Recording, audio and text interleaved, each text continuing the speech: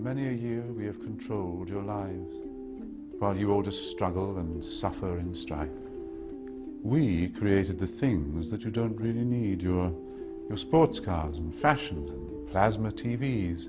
We control the money that controls your lives.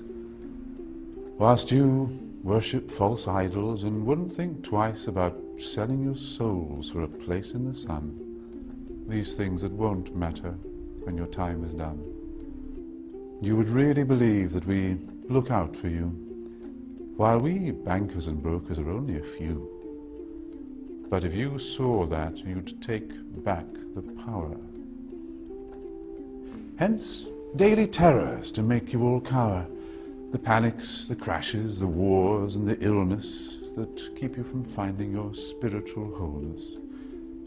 So, go out and work as your body clock fades. And when it's all over, a few years from the grave, you'll look back on all this, and just then you'll see that your life was nothing. It was us that funded Nazis. But as long as we own all the media too, what's really happening does not concern you. So just go on watching your plasma TV, and the world will be run by the ones you can't see. While Europe was Christian for those centuries, Christian Europe fought a ferocious battle against riba. In fact, one of the best books on riba ever written was written by a British sheikh. What was his name? Shakespeare, correct. Which book? Merchant of Venice. In Merchant of Venice, you see Christian Europe in its attempt to ensure the prohibition of riba.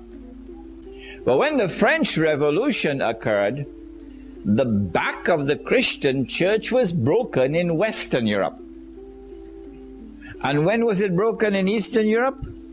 Which revolution? The Bolshevik Revolution broke the back of the Christian church in Eastern Europe, in Russia.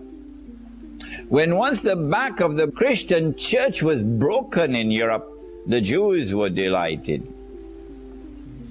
The Jews were delighted because the Christians had been waging a terrific war against the Jews for centuries in Europe.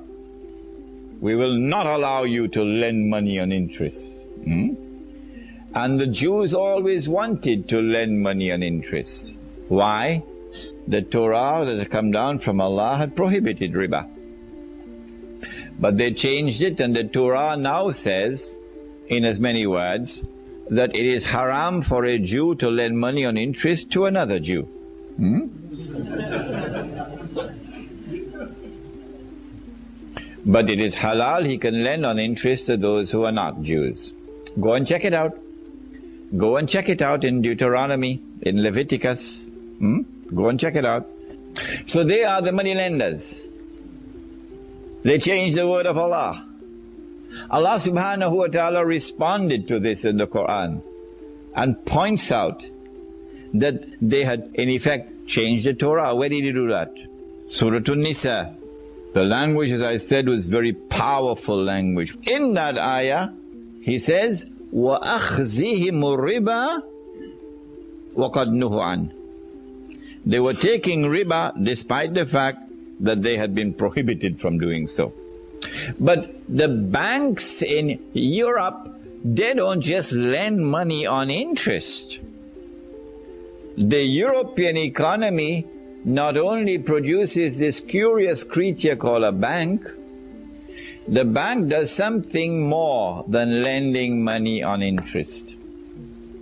What the bank does, and this began in France with an Englishman, what the bank does is to start issuing paper as money.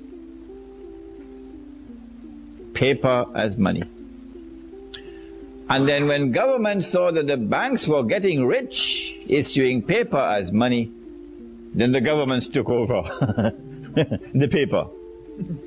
Then Europe sent her armies And European armies shamelessly, shamelessly, shamelessly, at the point of a sword, those who say Islam was spread at the point of the sword, they're the ones who went with the point of the sword and conquered the rest of the non European world. And so a white world order emerges at the point of the sword in which Europe now rules the world. Hmm? When Europe took over the rest of the world, one of the most important things that Europe wanted to do was to dismantle the system of real money and replace it with paper money. And they achieved it. And all the natives start dancing, drum beating. We have something called independence. While Europe is laughing its head behind the wall. Look at them, blind like bats.